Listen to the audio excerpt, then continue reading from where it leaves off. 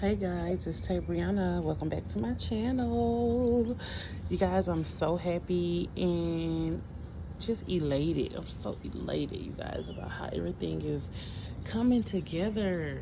Everything is coming together. I I'm gonna get ready to have some squash. Look at those flowers. I'm so happy you guys.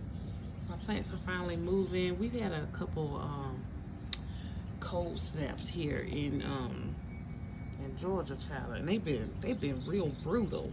And um, yeah, it's finally warming up now. So, uh, well, it's been warm for a while, probably about a little good week or two. So everything is finally just flourishing. Like this is flourishing. This is doing so good, y'all. I love squash leaves. They're so pretty, so green. They're so soft.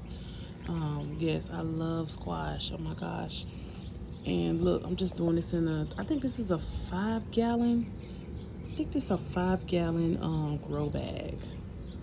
And i had a couple more of these but when we moved my crazy behind boyfriend he threw them away. I love these grow bags. Mm, i bought these off amazon. So yeah. And i don't know if i'm gonna keep this trellis on it or not.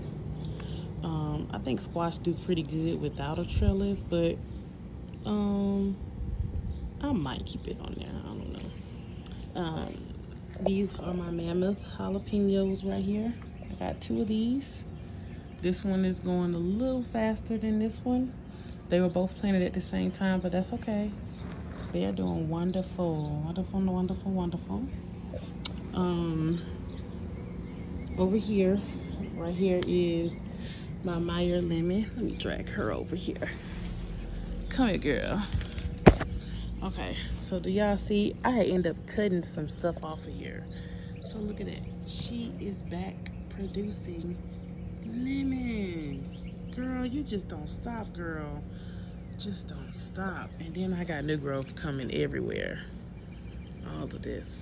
And this is something I bought from Home Depot from a cutting, you guys. And look how big it is.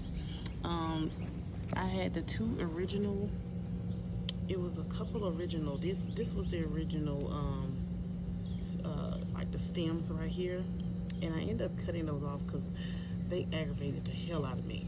Um it was like it made the plant look funny. And if you see i had to plant it cricket just for the you know for it to stand straight up. But these were still poking out this way. And i didn't like that. So i cut these probably about two weeks ago and look, now I got new branching coming out. So y'all, this tree don't be kidding around. It don't be kidding around.